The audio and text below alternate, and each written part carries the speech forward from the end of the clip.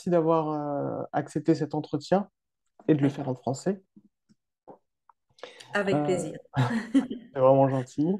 Euh, donc, vous transmettez depuis plusieurs années des, des enseignements et des pratiques s'inscrivant dans des traditions non duelles, notamment le shivaïsme du Cachemire. Euh, dans ce cadre, euh, vous proposez des rencontres, euh, des retraites axées notamment sur l'éveil et l'exploration directe de l'expérience, notamment d'avoir un corps. Et, euh, donc c'est très axé sur euh, l'éveil du corps. Vous êtes par ailleurs euh, psychothérapeute, euh, êtes basé euh, à Oxford, donc euh, bah, en Grande-Bretagne, et vous, vous enseignez euh, essentiellement en anglais. Et donc, c'est un- une chance de, pouvoir discuter avec vous en français ce soir.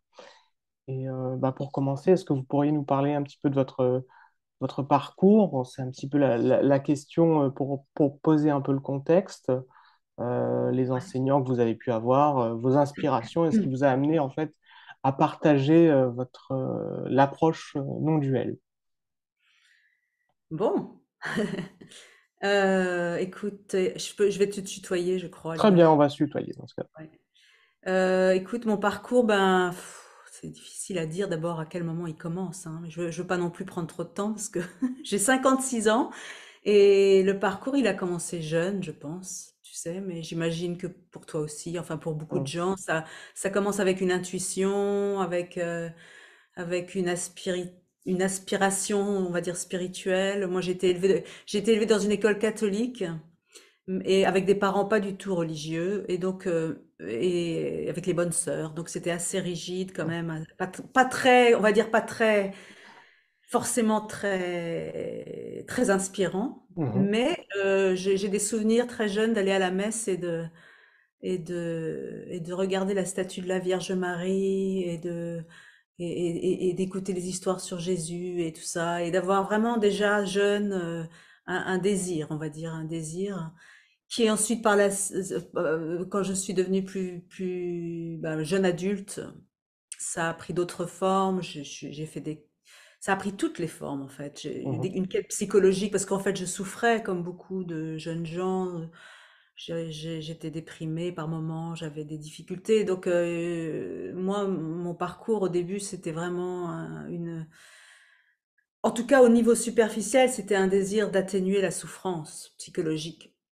Mais en fait, je me suis rendu compte plus tard que ce qui meut euh, un parcours, c'est tellement plus mystérieux que ça. Ça n'a rien à voir avec les idées qu'on peut s'en faire. Mais on suit, tu sais, on suit euh, ce qui nous anime à la surface. Et euh, donc, j'ai cherché, j'ai cherché psychologiquement et puis aussi spirituellement. J'ai été en Inde, j'ai fait des rencontres. J'étais attirée par, par l'Inde, par, cette euh, espèce de sensibilité que- qu'on n'a pas en Occident, qu'on a perdu ou qu'on n'a jamais eu peut-être en Occident, cette, euh, espèce d'atmosphère en Inde euh, de, de, de, de- que qu'il y a pas, c'est pas séculaire. Enfin, le sacré, il est là dans la rue, euh, les, temples, les ashrams, etc. Ça m'a beaucoup, touchée et euh, donc je, je me suis un peu perdue là-dedans. J'ai rencontré des tas de gens intéressants. Et, euh, et puis je faisais mes études de- pour devenir psy. Et, et, ça, ça me, ça, ça m'amenait plus vers le corps, vers une, une exploration de, tactile, on va dire, parce que ma souffrance à moi, on va dire qu'elle elle avait, elle avait à voir avec le corps. Donc je faisais tout ça et euh, je me suis retrouvée en Californie, euh, la trentaine.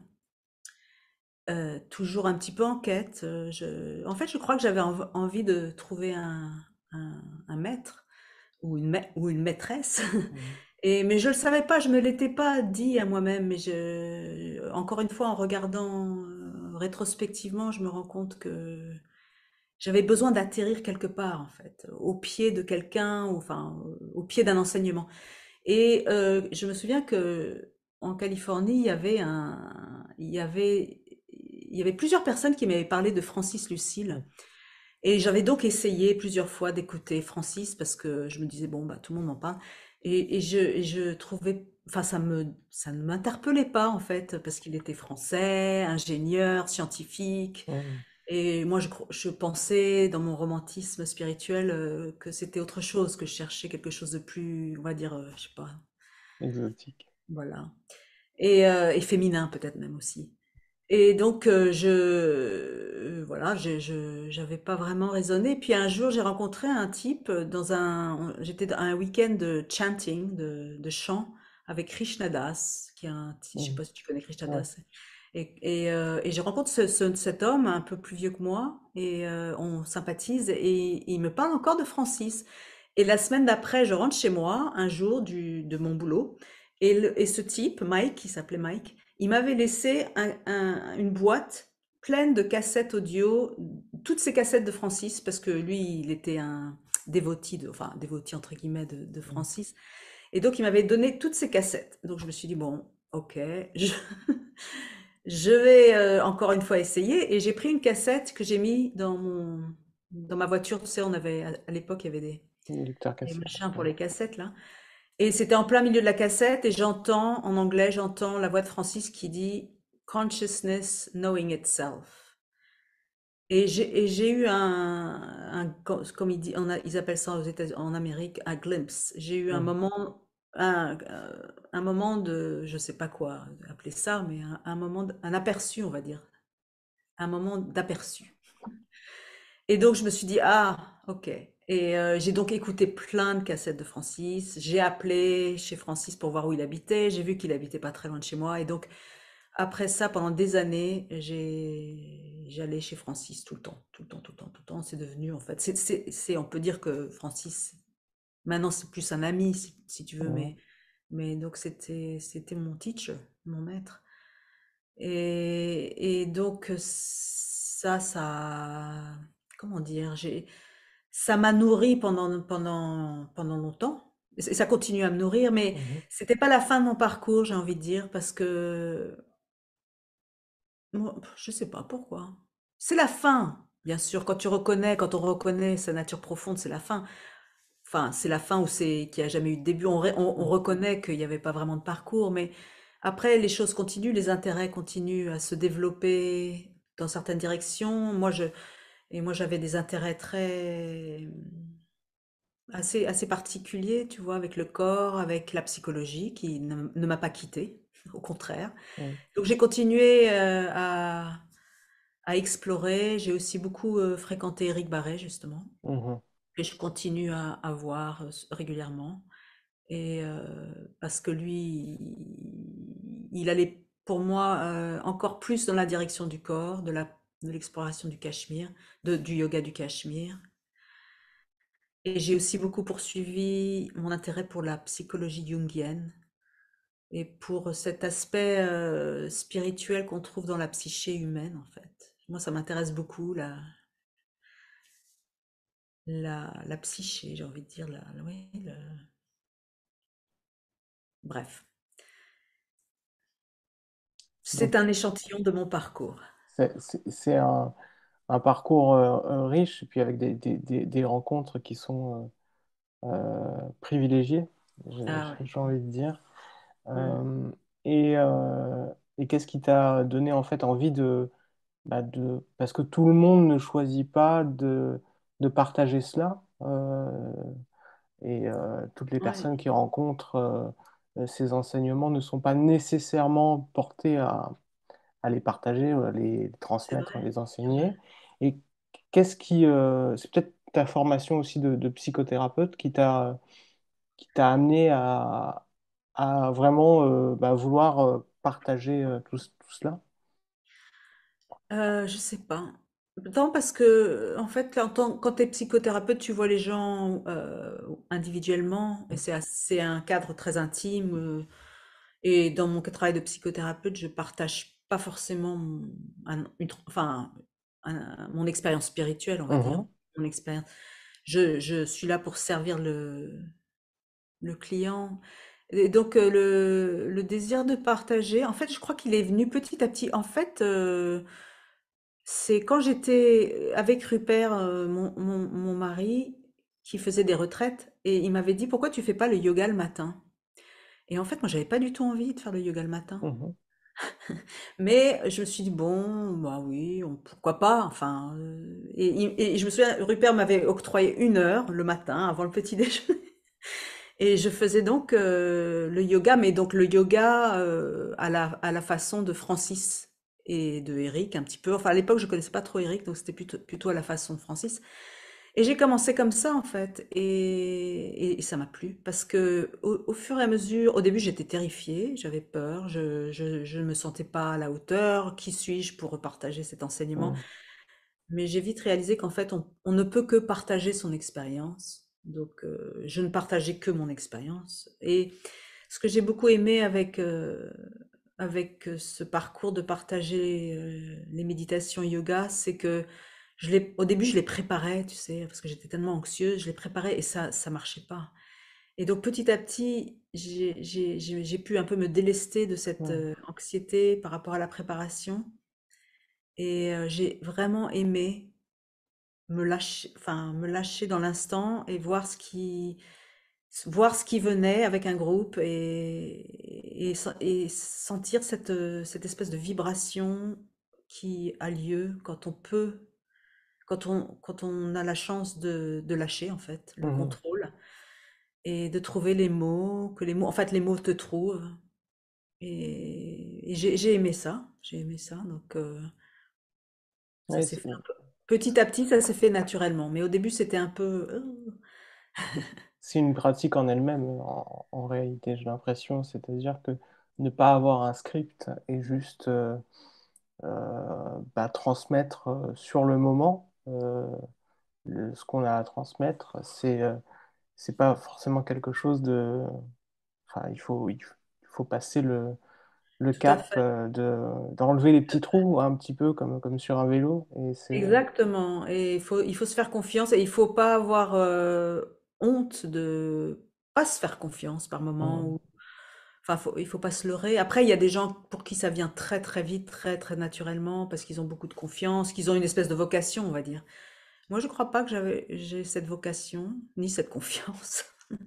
Mais mais euh, petit à petit, euh, ben, ça vient, ouais, comme tu dis exactement. C'est c'est quelque chose qui, qui s'apprend. Et je me souviens, Eric Barret, d'ailleurs, euh, qui m'avait dit qu'au début, quand lui, il avait commencé à enseigner, il, est, il, était, il, il, il était comme un perroquet, il imitait Jean Klein, jusqu'à Ouais. l'accent, jusqu'à l'accent euh, en allemand même, les, les mots et même l'accent. Et, et c'est vrai que c'est, c'est- au début, tu, tu te, tu, tu, bah, tu te calques un peu sur ton maître, tu, tu dis les choses euh, qui, qui t'ont marqué, tu dis les mêmes choses que toi, tu as, tu empruntes les mêmes chemins, euh, les mêmes formulations. Et à un moment, il y a une inspiration qui vient où tu trouves tes propres, tes propres mots. Ouais, il y a une transformation en fait qui, qui s'opère. Ça, Ouais. ça, ça fait penser un petit peu à la formule de Lavoisier. Rien ne se crée, rien ne se perd, tout se transforme. Et effectivement, euh, bah, avec euh, euh, l'exercice en fait qui, qui, qui se pratique, au bout d'un moment, euh, les choses se transforment. Ouais, tu- donc tu, évoques déjà beaucoup le, le rapport au, au corps et, et donc dans, au sein de cette pratique non duelle ce qui est, euh, ce qui apparaît un petit peu euh, pas original parce que c'est quelque chose qui, semble être de plus en plus, euh, euh, j'allais dire à la mode, mais c'est un, un peu le cas. Mais c'est vrai que quand, quand on parle de, de non-dualité, c'est vrai qu'on a toujours un peu tendance à, à penser à quelque chose de, de plus, euh, pas de cérébral, mais un petit peu quand même, c'est-à-dire qu'on est sur euh, euh, la, la compréhension euh, de la non-dualité et que c'est un peu désincarné. Mm. Et, et donc, j'ai l'impression que dans ton approche, il y a vraiment une, bah, une non-dualité, quelque part, de, de, de, cette approche, c'est-à-dire qu'il n'y a plus de séparation entre le fait de, d'avoir une approche, on pourrait dire quasiment intellectuelle, et, euh, et une approche plus euh, euh, incarnée dans le corps. mais quand même, pour les personnes qui, qui, qui regardent et qui ne sont peut-être pas tout à fait au fait de ce qu'est la non-dualité, et pour aller un petit peu dans, dans l'intellect quand même, est-ce que, est-ce que tu pourrais nous donner une, ta définition de la non-dualité ou de ce que, comment est-ce que toi, euh, tu, tu l'exprimes ou tu le, euh, comment est-ce que tu, quand tu l'expliques à, à, à tes, euh, à Hmm. tes élèves, comment, comment est-ce que tu approches cette notion? Ouais. En fait, je l'approche de, de- j'ai différentes, peut-être différentes manières de l'approcher. Quand j'en, quand j'enseigne, quand je partage les méditations yoga, on va dire tactile, le corps, je vais pas forcément, je vais pas forcément utiliser le mot conscience, non-dualité ou quoi que ce soit. Je vais, je vais suggérer euh, une écoute en fait, une écoute de notre expérience dans le moment et, et en particulier de l'expérience, euh, enfin pas juste, de, de, l'e- de la globalité de notre expérience dans le moment, donc qui inclut les pensées, les ressentis tactiles, les feelings, les perceptions externes. Je vais, je vais donc suggérer une écoute qui n'a une écoute qui n'a aucune intention en- envers l'expérience, qui est ouverte. Et, et petit à petit, j'espère, au travers de, de, l'invitation, l'écoute, l'écoute qui va se faire, euh, se révéler, va, comment, comment dire, va, va, va appeler vers elle, en fait. Euh, C'est-à-dire que naturellement, organiquement, l'attention va se détourner de l'expérience, du contenu de l'expérience pour, pour se diriger vers l'écoute elle-même. Mais tout ça, je le forme, je le formule pas forcément dans la méditation. Je, je, je préfère pas. Je Mm. préfère, je préfère essayer le mieux possible, ne pas passer par un concept. Mais après, si tu veux, il y a toujours une- un moment où on discute, où les gens posent des questions. Et là, et là, les gens vont me poser des questions plus didactiques, plus conceptuelles. Et, Ouais. et- et là, je vais, j'ai, accès aussi à des formulations euh, euh, où je vais peut-être dire, par exemple, que, que cette écoute, si on s'interroge sur ce qu'elle est, euh, si on s'interroge, est-ce qu'elle est localisée, est-ce qu'elle a, est-ce que cette écoute, est-ce qu'elle est, est-ce qu'elle est différente de, du jeu? Est-ce qu'elle a une limite? Est-ce que je peux trouver sa limite? Je vais commencer peut-être à, à- à- à- à engager une, une exploration plus, plus conceptuelle, en fait, enfin, ou plus, qui, qui, en- qui, qui inclut le mental. Mm. Euh, et donc ça, c'est, c'est encore un- c'est un- une autre façon, on va dire, une autre façon. Ouais. Euh, Parce que c'est dans, vrai dans que les méditations, dans les méditations aussi, parfois, je vais, je vais faire que- ce que Francis faisait beaucoup, qui était self-inquiry. Donc, euh, je sais pas comment on dit en français. euh, moi je dis l'investigation du soi, mais après, Voilà. Donc, Francis, il a, il a, il a vraiment transposé l'investigation du soi, euh, qui est en général qui suis-je, euh, qui, qui est un processus de raisonnement élevé, on va dire. Mais lui, il l'a transposé dans le corps aussi. Et moi, j'ai beaucoup, beaucoup aimé ça, où on se, on se posait la question de où est-ce que je me sens localisé, par exemple? Ou, euh, où, est-ce que je ressens un, sentiment de jeu? Et après, on allait explorer, on allait, on allait on allait avec la torche et le, et le, et le, et le calepin avec Francis et on allait euh, investiguer ce, qu'il appelait the eye feeling, the eye and the body feeling. Donc, tout ça, je le, je le, je, je l'utilise aussi dans mes, dans mes, dans mes, dans mes partages. Euh, mm, donc c'est un peu les deux. C'est à la parfois j'ai pas envie de parler trop et c'est c'est la vibration qui se révèle elle-même organiquement et d'autres fois pourquoi pas ne, utiliser de- des concepts puisqu'ils sont là et le mental il y a, y a pas de problème c'est bien c'est bien d'utiliser le mental Puis ça peut dépendre de la personne ou du moment, tout même pour la même personne. ouais Et, ouais euh, tous les chemins mènent à Rome. Ben, Ouais, mais, oui et non, parce que je pense qu'il y a des chemins. Enfin, je suis quand même, je fais attention avec les concepts, avec les idées, parce que Quand on utilise trop de formulations, ça peut, bah, ça peut créer un imaginaire spirituel en fait. Ça peut créer un ego spirituel. C'est très facile, on tombe tous un peu là-dedans. Donc, Oui, oui. Ah oui, c'est facile. donc il y a des chemins qui semblent mener à Rome, mais qui en fait, euh, D'accord. il faut, il faut, il faut faire attention, euh, je pense. Il faut rester humble, on va dire. Il faut que le mental reste humble. ouais. ce qui n'est pas toujours, euh, pas toujours évident. Non. Euh, c'est assez facile de dire, ça y est, euh, j'y suis, je suis vraiment trop fort. Ouais. ouais, c'est c'est- c'est- c'est, un peu Et c'est contre. pour ça que... Ouais. Pardon, excuse-moi, Ludovic. Non, il n'y a pas de souci. Je dis, je- c'est juste contre-productif et contre. euh, ça va exactement à l'encontre de ce pourquoi on a eu une inspiration Tout à fait. de départ. Et c'est pour ça que quand on revient à l'écoute euh, dans l'approche euh, du Cachemire, en fait, on est dans le, dans le domaine du not knowing, du je ne sais pas. Je ne, je, je, le mental, en fait, parce que bien sûr, la conscience, euh, elle est pure connaissance, mais le je ne sais pas, euh, qui, qui en fait euh, est pure disponibilité à un moment. Il n'y a, y a, y a, il y a pas besoin de concept à ce moment-là. Il y a, c'est quelque vrai chose que. qui s'impose, qui s'impose, le silence, enfin l'écoute, euh, c'est tout. C'est simple, c'est c'est bébête. Ouais, mais le mental, euh, et euh, c'est vrai que j'ai pu le, remarquer dans, certains satsangs euh, auxquels j'ai pu participer, c'est que on a quand même cette impulsion. de se dire oui, mais j'ai pas bien compris en fait ce qui est exposé. Et donc, du coup, on se fait très vite piéger, enfin, piéger entre guillemets, mais on se fait emporter par le, euh, le besoin de savoir, le besoin d'avoir une certitude euh, et d'avoir euh, d'avoir une réponse définitive et une garantie que bah, ça y est, là c'est bon, j'y suis, j'ai compris. Et, euh, Mais là, si tu veux, on peut à un moment voir ça, contempler ça dans, son- dans, dans cette écoute, contempler ce désir de certitude, ce, cette impulsion de cerner la chose, de maîtriser, de contrôler. En fait, c'est toujours ce, désir de sécurité.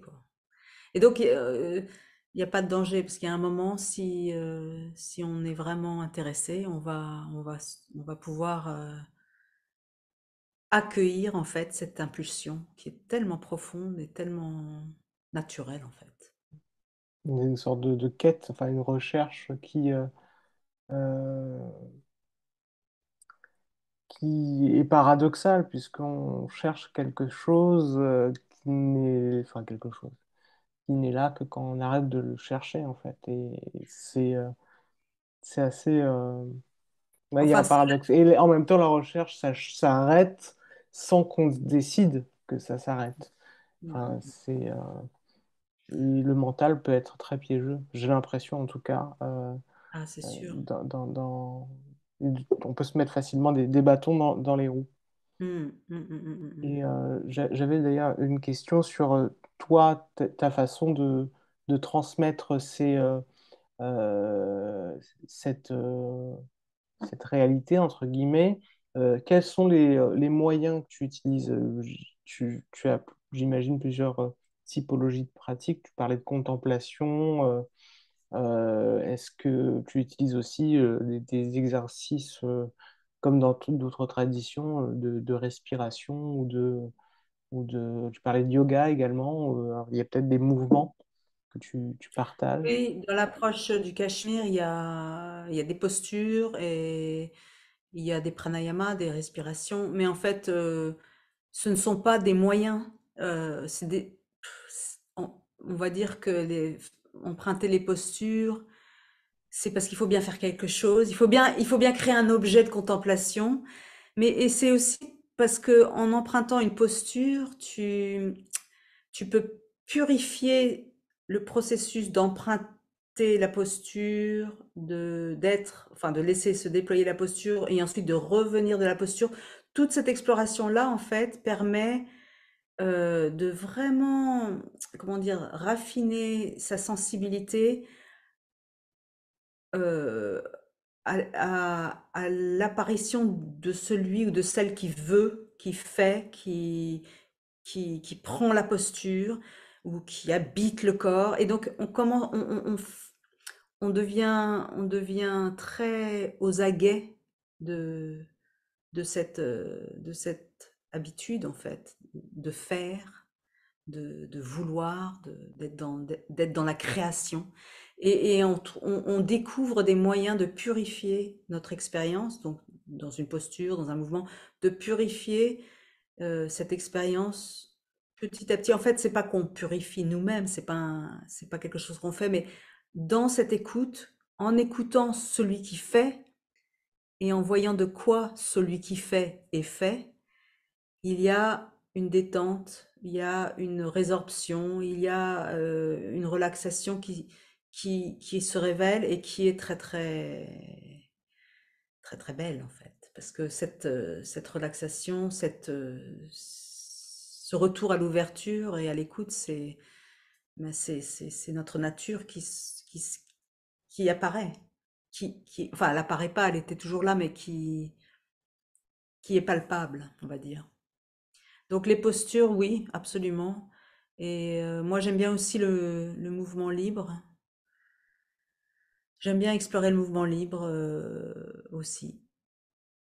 Parce qu'il y a aussi cette part d'expression qui est intéressante, ou qu'est-ce que c'est qu'une expression?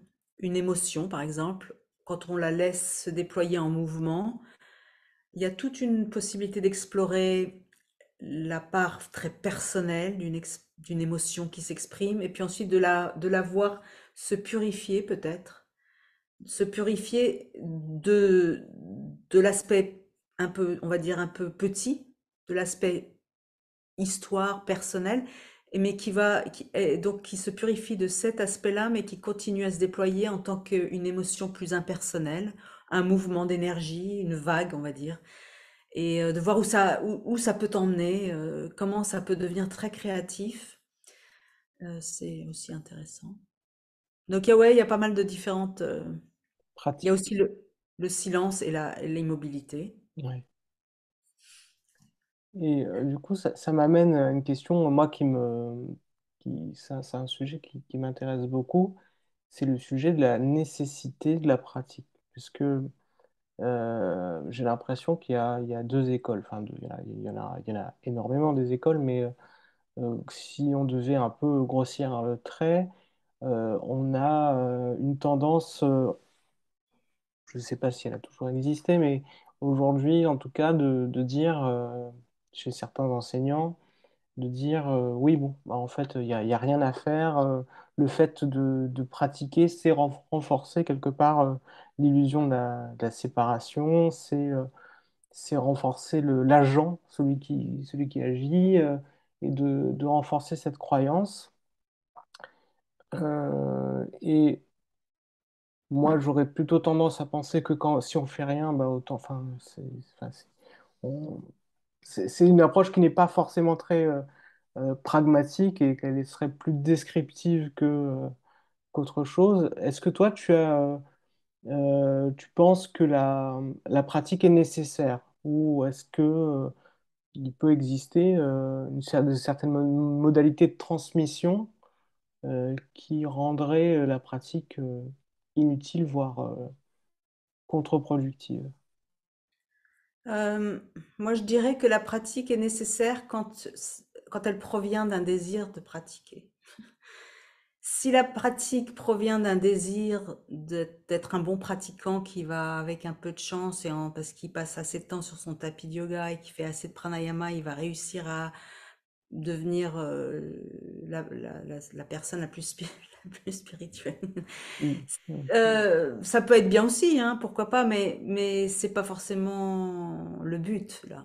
Mais, mais en même donc, mais par contre, euh, la pratique qui provient d'un d'une intuition, d'un pressentiment, d'un désir, euh, d'une dévotion, j'ai envie de dire, parce que finalement, on est en train de parler de, enfin, on n'aime pas forcément le mot Dieu, mais pour moi, ça a toujours été très dévotionnel tout ça finalement. Bien sûr, c'est la non-dualité, donc c'est la conscience, donc blablabla, mais Mhm. non, c'est c'est quelque chose de, enfin, c'est quelque chose qui, euh, au départ pour moi, petite fille, mais je pense pour beaucoup, c'est c'est vraiment un mouvement vers, c'est euh, c'est un mouvement à genoux, c'est euh, c'est ça, enfin, tu vois, c'est et donc la pratique, ça peut être ça, ça peut être ce, cette expression de la dévotion finalement. Et, euh, et, et si, et, et quand c'est ça, je pense que ça porte des fruits, ça porte des fruits, forcément, puisque on est en train de s'orienter vers ce, ce qu'on aime le plus, ce Mm. qu'on est le plus intimement, ce qu'on... C'est ça la pratique. C'est pas la pratique euh, de faire parfaitement les pranayamas et les postures et tout ça. Ça, euh, ça peut, ça c'est plus une forme, tu pourrais dire un art ou une technicité Mm. que certaines personnes aiment bien développer parce que ça, parce que ça les intéresse. Mais ça, ça c'est autre, ça c'est autre chose. Quand on parle de pratique, pour moi, c'est oui, c'est une orientation euh, dévotionnelle. Et, et- et elle doit, pro- elle doit provenir d'un mouvement, d'une vraie impulsion. Mais après, ça ne veut pas dire qu'il n'y a pas des matins, par exemple, tu te réveilles, tu n'as vraiment pas envie de t'asseoir ou de faire ton truc, et tu le fais quand même. Et tu le fais quand même parce que finalement, la dévotion, c'est aussi faire face à cette résistance. Euh, cette résistance que tu, que tu apprends à, à, reconnaître en tant que telle. Et, euh, et tu t'assois quand même.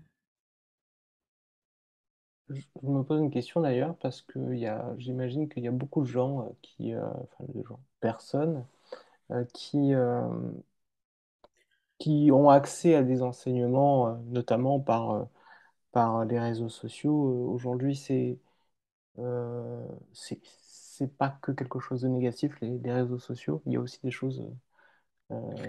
c'est un, con- un conduit pour notamment des, des enseignements. Et, mais il y a bon, il y a sur le marché spirituel, j'ai envie de dire, énormément de choses. Euh, est-ce que euh, tu, je sais pas, est-ce que tu aurais des conseils pour une personne qui voudrait, euh, qui a cette intuition de quelque chose qui n'est pas nécessairement euh, de- domaine de, du, du mental, mais plutôt de quelque chose de, de cette présence di- di- difficilement définissable et qui voudrait ben, euh, aborder une, un chemin euh, spirituel. Est-ce que tu as des... euh, parce que j'im- j'imagine que tu as accompagné quand même euh, pas mal de, personnes. Euh, comment est-ce que ces personnes-là peuvent... euh, euh, quelles sont les clés en fait pour commencer une voie euh, spirituelle? Est-ce que c'est euh, trouver un enseignant? Est-ce que c'est trouver un livre? Est-ce que c'est essayer de méditer dans son coin? euh? Bah, en fait, je sais pas. Ça, parce qu'il n'y a pas de formule qui s'applique à tout le monde. Moi, je dis, enfin, je pense que il faut suivre son désir. Follow your bliss. Suivre son, comme un chien euh, sur la piste de, de, de- de la chaussette qu'on lui fait renifler pour aller chercher le. C'est, comme ça qu'il faut faire. Il faut, il faut, il faut pas s'en tenir qu'aux réseaux sociaux, justement, parce que c'est Mhm. tellement tentant ces jours-ci. Euh, moi, enfin, quand j'ai commencé, il n'y avait pas tout, il y avait pas tout ça. Il y avait le carton de cassette, quoi. Il Oui. y avait la rencontre que tu faisais euh, par hasard.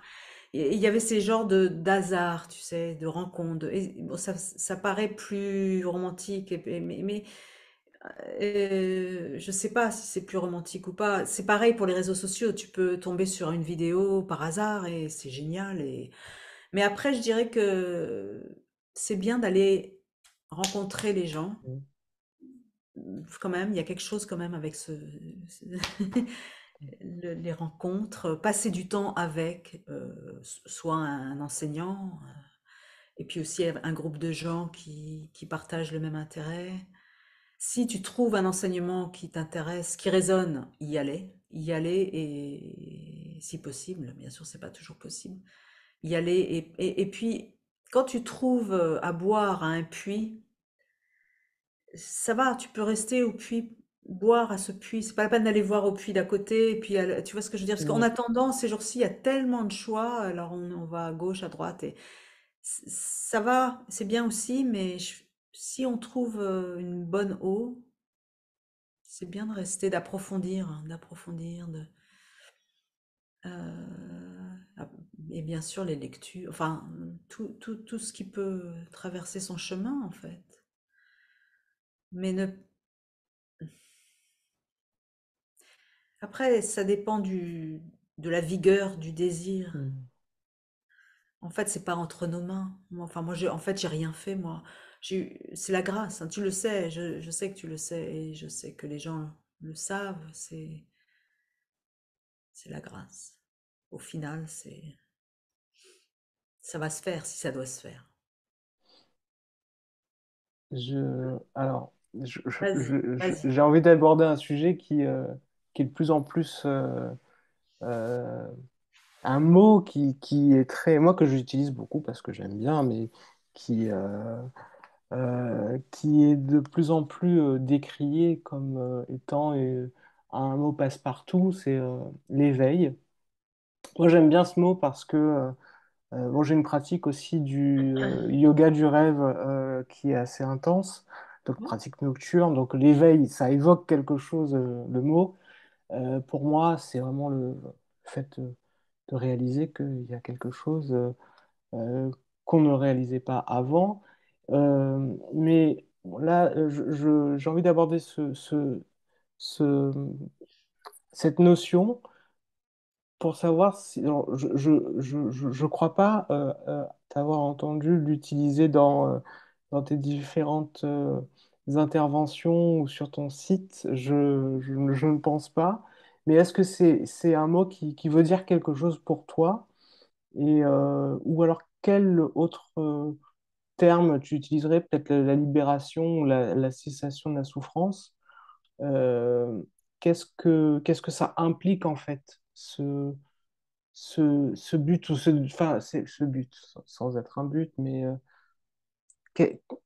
cette question est très très mal formulée, je, je- je m'en excuse. Mais, euh, est-ce que, voilà, qu'est-ce que ça, qu'est-ce que ça veut dire pour toi si ça veut dire quelque chose? Bah, si, oui, ça veut force, enfin, ça veut dire quelque chose, oui, pour moi, parce que j'ai eu ce moment que je t'ai décrit plus tôt, euh, par exemple, quand j'ai mis la cassette de Francis et que j'ai entendu cer- une certaine phrase qui a déclenché, tu pourrais dire, un éveil. Euh, ce qu'on appelle un glimpse en, anglais, c'est un moment d'éveil, c'est c'est un moment, une révélation, un moment, un moment où où l'ignorance, la, croyance en la séparation, en la croyance que je suis euh, un fragment, une conscience individuelle, c- s'est relâché. Dans ce moment-là, il y a eu une reconnaissance. Donc, euh, c'est ça pour moi l'éveil. Euh, et ça peut, enfin, mais après, j'ai pas tendance à utiliser trop ces termes-là parce que ils peuvent tellement euh, déclencher des imaginaires, des, c'est, c'est, c'est, c'est, hum, je préfère, enfin, c'est même pas que j'ai jamais, j'ai jamais pensé, je vais pas utiliser ces mots-là, c'est, c'est Mhm. juste que ça me vient pas, ça me vient pas, mais c'est définitivement euh, dans un registre que, que, que je pense et il se passe quelque chose quand même quand on quand on quand lance quand on se rencontre soi- soi-même véritablement euh, il y a, il y a, il y a quelque chose là. Et y c'est pour ça qu'il y a un vocabulaire autour de ça. Euh, mais je sais pas si je réponds à ta question. Si, euh, mais je vais peut-être la, la préciser. ouais. Euh, est-ce que euh, cette réalisation ou cette, euh, est-ce que c'est euh, l'ouverture euh, d'une porte vers euh, la possibilité d'un d'un bonheur inconditionnel? Et euh, qu'est-ce que... Alors là, c'est très, très euh, dans le mental, hein, tout ça, bien sûr. Euh, qu'est-ce que, euh, qu'est-ce que ça voudrait dire, en fait, euh, d'avoir un bonheur ou une paix inconditionnelle? C'est quoi? Est-ce que c'est être tout le temps... Et c'est- alors, c'est un peu, sous- ah sous- un peu une provocation, cette question, hein, bien ouais évidemment. Mais est-ce que c'est être tout le temps dans un état d'extase euh, complet ou est-ce que c'est ne ressentir aucune émotion négative? Est-ce que, voilà, est-ce que c'est être un saint? Est-ce que, Ah, je selon toi, hein, pas bien, moi je peux parler que de mon expérience hein, parce que je pense ce que je, voilà, sais, je sais qu'il y a eu des saints. euh, Enfin, je, je, je- app- apparemment, hein, j'en ai jamais rencontré, mais apparemment, il y a eu des saints. Il y a eu des, des gens qui ont, peut-être Ramana Maharshi, par exemple, ou je ne sais pas, Ananda Mahima. Il y a des gens comme ça. Dans mon expérience à moi, c'est, comment dire, je sais, mais là, quand je vais te le dire, je te le dis de manière conceptuelle, mais j'ai eu des moments, des reconnaissances et je sais que ma nature véritable est la conscience et que cette conscience, je sais, je sais, et par moments je le vis, que cette conscience est sans limite, euh, sans début, sans fin, et que donc euh, cette conscience est synonyme, synonyme de paix, de bonheur, de tout ce que, tous ces mots-là. Mm. Je ce qu'on retrouve dans, dans les livres, en fait. voilà. Et, et si tu veux, dans des moments de méditation, des moments où, où, où, comment dire, le passé le futur se replient dans l'instant, il peut y avoir des moments de grande tranquillité comme ça, des moments de, où je goûte à ça. Enfin, c'est même, comment dire, je suis ça et en même temps, le corps mental goûte à ça. Il y a une, c'est comme s'il y avait une vibration dans le corps de paix, de joie, de, c'est, c'est, c'est- ça, c'est un fait. Et, et aussi, la vie continue et la personne continue. Pour moi, l'image de l'océan et de la vague, pour moi, ça, ça, ça, ça, le fait.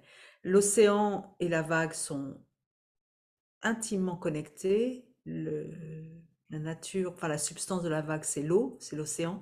Mais néanmoins, la vague continue à avoir une forme et une trajectoire. Et, c'est ça, c'est ça, c'est comme ça que je conçois aussi mon expérience. Je continue, moi, Hélène, à avoir une trajectoire en tant que personne et avec des problèmes, des souffrances, des, des prises de tête, euh, des tas de choses comme ça. Mais tu pourrais dire que j'ai toujours la possibilité, à partir de mon statut de vague, de regarder et dire ah, ah oui, ah oui, océan. Et de revenir à, à quelque chose un, peu, un peu plus ouvert, euh, à revenir vers le je ne sais pas, à revenir vers l'ouverture et peut-être vers la paix, peut-être vers, sûrement même.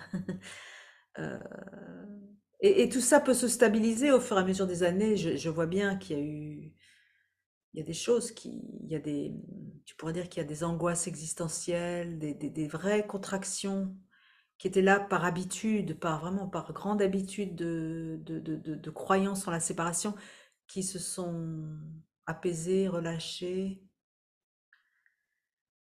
Voilà, c'est Je... ma réponse. Mais c'est une réponse que, que, que j'aime beaucoup parce que euh, je trouve que d'un point de vue euh, purement euh, pédagogique, je trouve que c'est euh, au-delà de, de, la description du- d'une expérience, du point de vue même de la transmission, c'est, je pense que, et d'un point de vue psychologique, c'est important, euh, alors ça c'est une opinion personnelle, mais c'est important de ne pas, euh, lorsqu'on transmet, de, de ne pas activer quelque part des, des, des- des- syndromes chez, chez les personnes avec qui on peut discuter de Ah non, c'est trop immense ou c'est trop euh, parfait, je pourrais jamais y arriver. Et donc le fait de, ben, de, de- que ce soit euh, quelque chose d'incarné et pas de, de totalement euh, éthéré et complètement inaccessible, je trouve qu'au-delà du fait que euh, c'est euh, une expérience qui personnellement euh, résonne pour moi, au-delà de ça, c'est de toute façon une, une approche qui, d'un point de vue pédagogique, est, euh, est habile. Euh, Mm. et euh, et d'un point de vue pragmatique, c'est c'est plus efficace, efficace entre guillemets, que de dire, euh, voilà, si tu médites bien tous les matins une heure, tous les matins, euh, tous les soirs une heure, et que tu fais ta retraite trois, tous tous les ans pendant trois mois, tu, tu seras un saint au bout de dix ans. Enfin, 10 ans, 10 et encore dix ans, je suis gentil, euh, parce que bon, c'est, c'est- des fois c'est plus.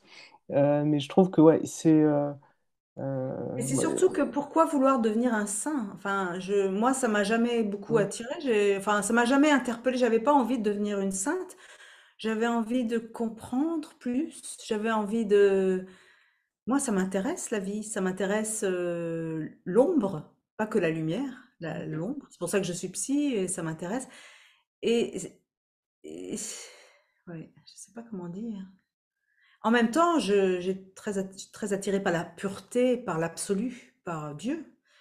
Et, et c'est comme s'il y avait cet axe vertical qui serait l'absolu, qui serait euh, quelque chose, euh, quelque chose, euh, quelque chose de parfait, on va dire. Mm. Et puis il y a l'axe horizontal qui serait euh, le déploiement de la création, la création qui, qui inclut tout, qui inclut euh, tout. Donc le bien, le mal, euh, la lumière, l'ombre et tout. Et, et, toute, et cette dimension-là aussi, c'est Dieu. Ça, c'est ce Dieu-là, enfin, et c'est le même Dieu, mais c'est Dieu, Dieu Shiva et puis Shakti, on va Mm. dire. Euh, et, et pour moi, c'est c'est un peu plus comme ça, donc il n'y a pas trop de prise de tête par rapport à vouloir devenir une sainte. Je, Mais c'est bien parce que c'est vrai que effectivement sur, sur le chemin de certaines, certaines personnes qui sont euh, dans, dans- qui cherchent quelque part une, une issue à leur souffrance, ouais. euh, peut s'installer très vite un- une volonté de contourner un petit peu son, Ah oui, euh, son expérience, euh, ce qui apparaît, euh, qui est là, euh, qui Et on veut transcender et on veut éthérer, comme tu dis, donc on veut éviter et, et on malheureusement et il y a un danger là parce qu'on peut aller un peu trop vite. C'est vrai que c'est sûr que la souffrance psychologique, à un moment, il faut la, il faut, c'est en la laissant se déployer, en vraiment en la goûtant, la peur, la colère, la, qu'on, que on, que, que ces fortes émotions se résorbent en fait. C'est, c'est dans l'accueil, c'est dans l'écoute. Donc oui, on peut euh, comment dire, on peut, on peut réaliser que je ne suis pas ma colère je- et que cette colère, finalement, c'est une tactilité qui se déploie. Mais, mais il faut pas être trop pressé de, de transcender ça. Il faut, il faut laisser les choses se faire et la colère, la jalousie, la peur, tout ça, ça a une raison d'être aussi.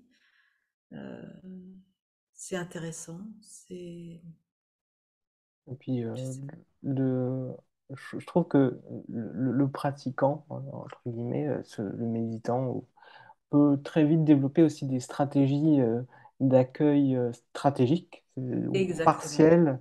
Alors là, j'accueille, oui, je, je- je lâche prise complètement et en fait, Voilà. c'est très, c'est très subtil et on peut être dans une situation où en fait, on ne fait que refouler euh, les, bah, ce qu'on n'a pas envie de voir en fait, hein, ce qu'on n'a pas envie d'entendre et d'écouter. Et, euh, et justement, ça, ça me permet de rebondir parce que j'ai vu également euh, que tu, tu au-delà de travailler vraiment sur, sur le corps, dans- je crois que c'est dans ton approche euh, de, de psychothérapeute, euh, tu, il y a euh, un travail qui est fait aussi sur euh, le travail sur euh, les émotions refoulées, euh, les, les- les addictions, l'anxiété, le- les traumas. Euh, est-ce que dans, dans le cadre de ton activité psychothérapeute, là, est-ce que tu utilises cette perspective non duelle ou est-ce que tu es plutôt sur des choses plus classiques, des approches plus classiques? Si tu veux, la perspective non duelle, c'est c'est pas vraiment une perspective, c'est c'est une qualité, enfin, c'est notre nature véritable. Et donc, pour moi, dans mon travail, ça, c'est forcément là. Enfin, puis c'est forcément là. euh, je peux pas te dire plus que ça. C'est c'est juste, euh, c'est juste là, quoi. Mais après, je n'en parle pas forcément. je ne mets pas ça en avant comme Mhm. technique. D'accord. euh, sauf si parfois le client ou la cliente si ça vient dans, dans, dans, dans, dans, dans le champ, euh, dans le champ, dans le champ thérapeutique, il y a peut-être un moment de silence, il va peut-être y avoir un moment de silence, de, de acknowledging, comme on dit, de, de Mhm. prise de conscience ensemble de la présence. Mais en général, euh, non, c'est pas forcément du tout le, le, le point focal, c'est juste dans l'arrière-plan. Et, et le, et le travail qu'on fait, euh, c'est un travail classique, oui. Jungien plutôt, dans, le- dans la mesure où moi, ce qui m'intéresse beaucoup, c'est euh, de donner, comment dire, c'est de donner à notre imaginaire, à notre psyché, à notre part d'ombre, à nos rêves, une, attention respectueuse, on va dire. Euh, pour essayer de, je sais pas, de, c'est comme si on, c'est un peu un travail de détective en fait. Mhm. euh, quand quelqu'un vient, et puis il y a, y a des choses, il y a une histoire, et puis il y a des projections, et puis il y a des rêves, et puis il y a des, des, des, des traumas, comme tu dis, et des, mémoires refoulées, et, tout ça, tout ça se, tout ça commence à prendre place dans l'espace, et il n'y a pas tellement de j'ai pas tellement d'idées, moi. Qu'est-ce qu'on fait avec tout ça? C'est plus, euh, les choses se font toutes seules, en fait, tu sais, dans une espèce d'alchimie de l'écoute. Euh, et c'est très beau. Moi, j'aime beaucoup, beaucoup ce travail euh, de thérapie. Euh, et alors, vu qu'on est un petit peu sur le, sujet de, la psychothérapie, est-ce que l'approche non duelle est recommandée, enfin recommandée, Euh, est-ce que il y a des contre-indications en fait à cette approche, enfin, cette, euh, aux pratiques euh, liées à, la non-dualité, lorsque bah, j'imagine que si des personnes ont des, des peut-être des, des problématiques de nature psychologique, ou est-ce que tout le monde peut engager un travail ou s'engager sur cette voie?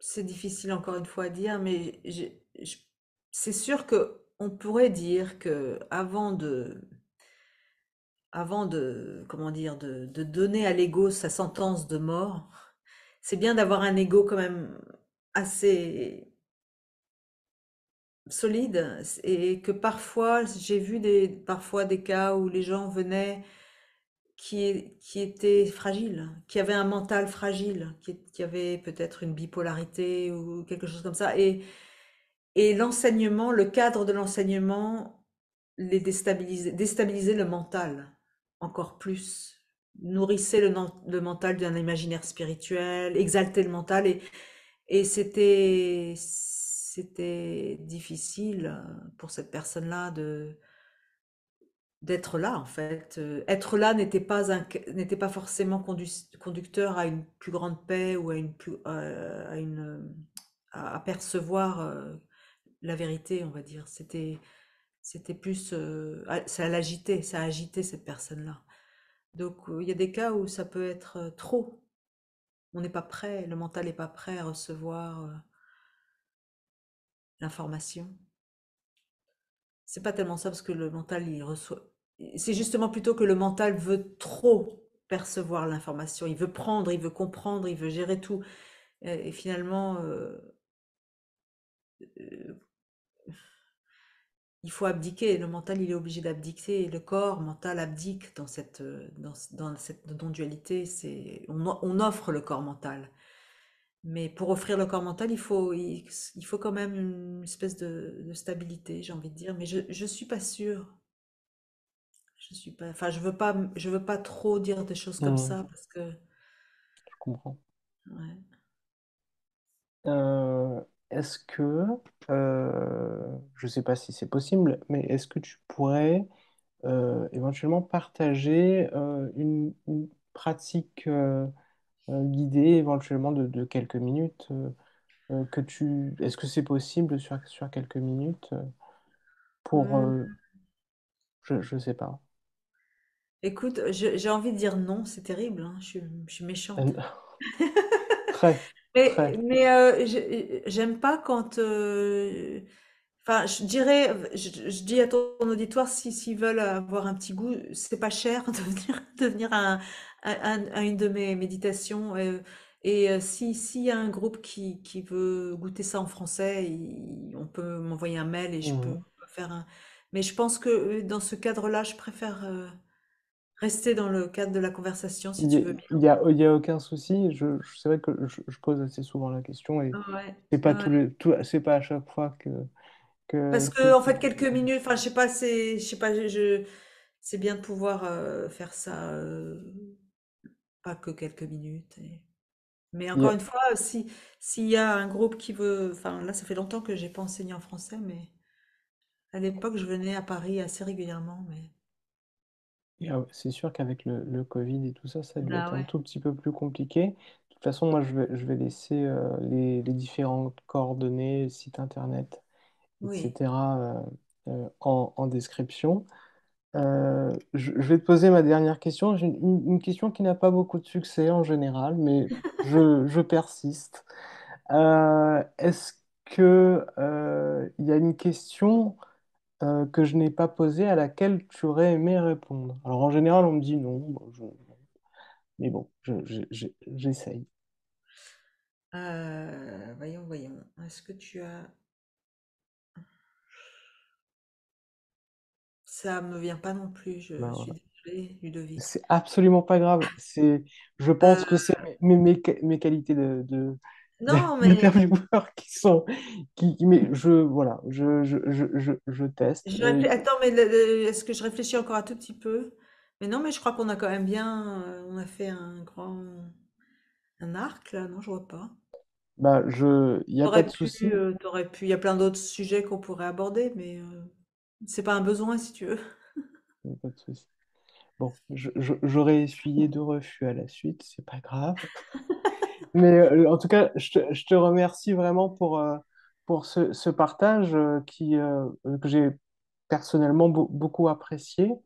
Je vais essayer de, de mettre en ligne la vidéo rapidement parce que je, je- j'ai un gros programme en ce moment de, de- de travail, mais je vais quand même essayer de le, le faire rapidement. Et je, je t'enverrai le lien et euh, je mettrai de toute façon tous les liens pour pouvoir euh, te contacter et voir tes prochains événements. Et d'ailleurs, j'ai cru voir que, je ne sais pas si elle est euh, complète, mais qu'il y avait une retraite organisée au mois d'octobre. Si Ouais. je Ouais.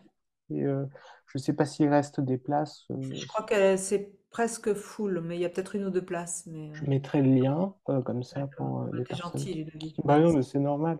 Et euh, bah, bah, je te remercie et, et ben, on, on peut rester en contact et éventuellement dans, dans quelques mois ou, ou refaire peut-être un, un autre entretien si, si le cœur t'en dit.